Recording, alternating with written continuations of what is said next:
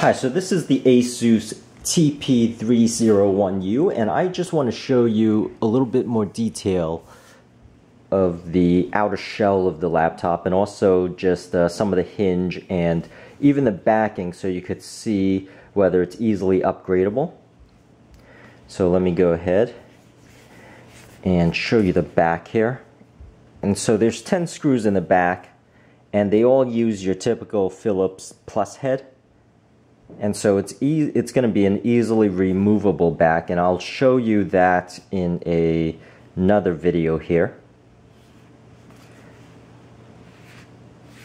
Um, but the other thing I wanted to show is also just uh, the hinge and how it transforms into a tablet. So I'm going to rest it on the box here and just show you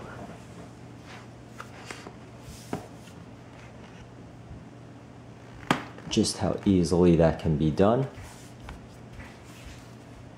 And that's really it, as you can see.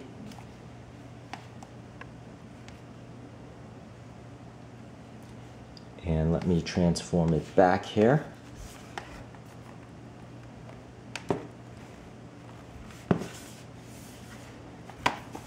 And so it is a fairly strong hinge. They said they tested it 20 thousand times opening and let me show you the measurements. So once again this is the 13.3 inch.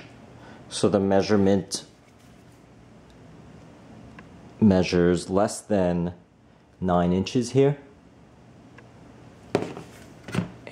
Or actually if I put it down here you see it measures around 9 inches but a little bit less.